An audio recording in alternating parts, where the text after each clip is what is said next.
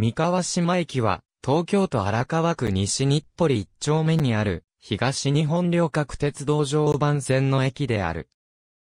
駅番号は、JJ03。当駅に乗り入れている路線は、常磐線のみだが、本線のほか、当駅からは、田端駅方面への支線と隅田川駅方面へ向かう、支線が分岐する。支線は、田端信号場駅方面は、貨物列車と臨時列車が、隅田川駅方面は、貨物列車のみが使用する。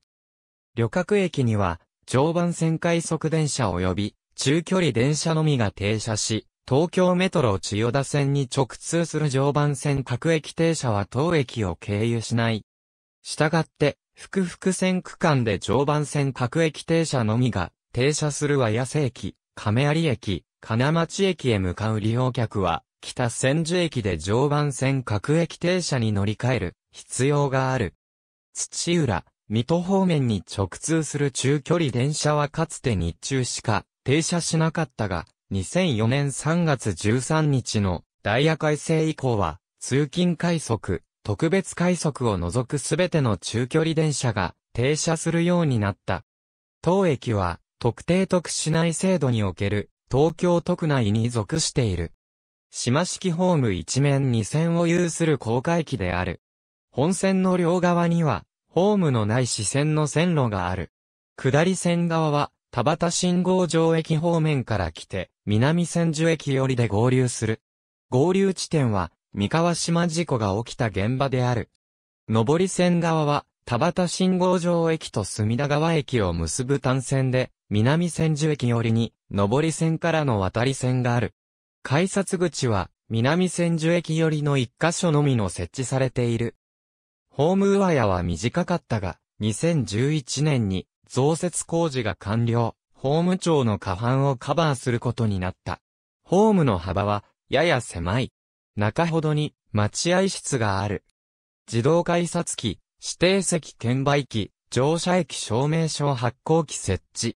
かつては、緑の窓口が設置されていたが、指定席券売機で指定席券などを購入することが可能となったため、2005年11月20日をもって廃止された。乗車駅証明書発行機は朝型のみの稼働である。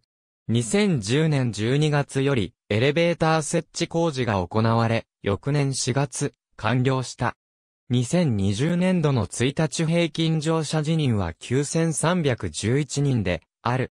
常磐線の JR 東日本東京支社間内の駅の中では最も少なく、東京23区内では、越中島駅、上中里駅、高輪ゲートウェイ駅、小具駅に次いで5番目に少ない。近年の1日平均乗車時人の推移は、下記の通り。駅周辺駅の出口は、お竹橋通りに面している。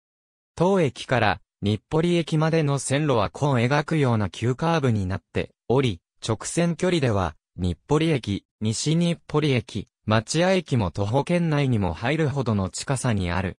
歌川広重江戸時代、三河島には、徳川家康が遷都の際、開墾のために、三河から連れてきた伊東市などの農家が居住して、稲作を行っていた。明治時代には、上野の戦いから逃れた、将棋隊の残兵が、伊藤家にかくまわれた経緯も式に残っている。日暮里出身の吉村明の、将棋隊に詳しい。明治から大正までは、湿地帯や農家の屋敷も残る田園地帯であった。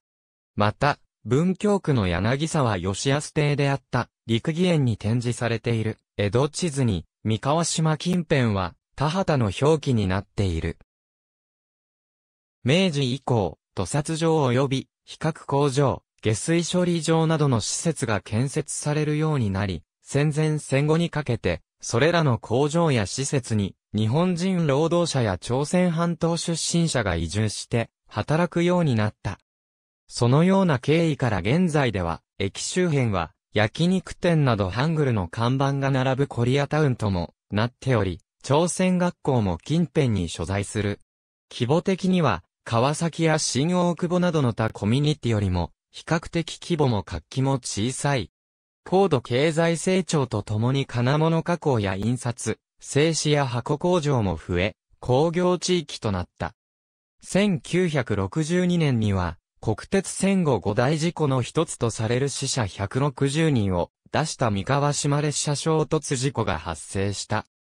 三河島という地名は、荒川区で広範囲にわたる地域名であったが、住居表示実施により1968年までに行政上の地名としては消滅し、三河島の中心部は荒川に、周辺部は他の地名に組み入れられ、現在では駅名や保育園の名前などとして残るのみとなっている。